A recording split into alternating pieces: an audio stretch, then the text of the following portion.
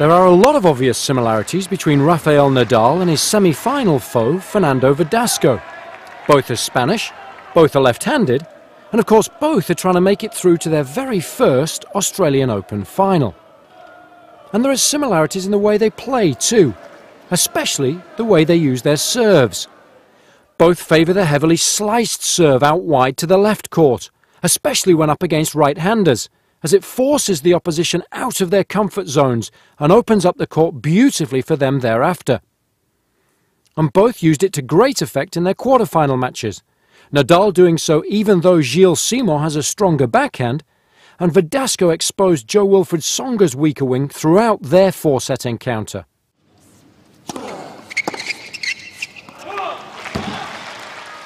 And both love to try and hit as many forehands as possible when playing from the back of the court. But that's pretty much where the similarities end because the way they hit the ball is quite different. Nadal hits his forehand with a huge amount of topspin, so it's a high percentage play as it gets plenty of air over the net and bounces well inside the lines but then kicks like a mule off the court.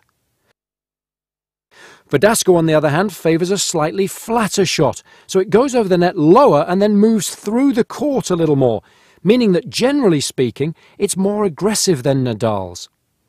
Which is great when he's playing well, as it allows him to boss the point.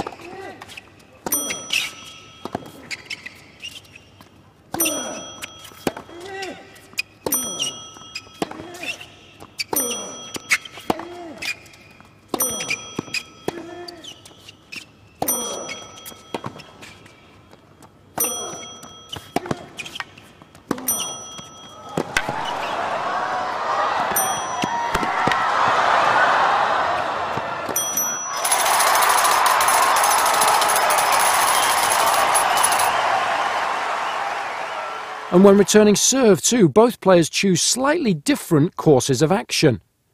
Nadal, we know, favours standing well back behind the baseline to return both first and second serves, preferring to let the ball drop before taking a full swing at it.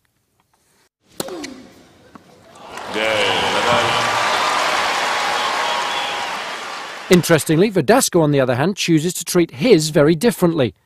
When returning from the right, most of the time he stands well up the court in order to cut off the angles, trying to minimise the exposure of his backhand. Whereas when returning from the left, he stands much further back, a good 1.6 metres further on average, and prefers to take a bigger swing at the ball, especially when he can run around a second serve and crank up his forehand. Now Verdasco's obviously riding the crest of a wave as far as his confidence is concerned after helping Spain win the Davis Cup last season. But the downside is his opponent today will surely prove a formidable one. Nadal's won all six of their previous meetings, and his record against left-handers in general is outstanding, having won 11 of the 12 matches he's played against them on the ATP Tour.